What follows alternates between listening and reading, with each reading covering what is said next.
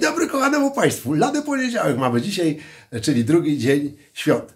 E, Witamy Państwa serdecznie. E, Ja i Kurczak, e, on będzie tutaj grał jedną z głównych ról. Ale żeby nie było teatrzyku kukiełkowego, to będzie właściwie monotram. Mój. A Kurczak po prostu tak sobie będzie tutaj hasał. Bardzo serdecznie Państwa kocham i proszę. Gdzieś w koszyczku jajek, jajek, jajek, jajek, siup. Kurczak niespodzianie wstaje, wstaje, wstaje, wstaje, siup. Ja cię kręcę, trzeba lać, wodę lać, wodę lać. Trzasikawki, kurka brać, kurka, kurka brać. Na to kurka przestraszona, szona, szona, szona, siup. Hej, to mówi przyszła żona, żona, żona, żona, siup.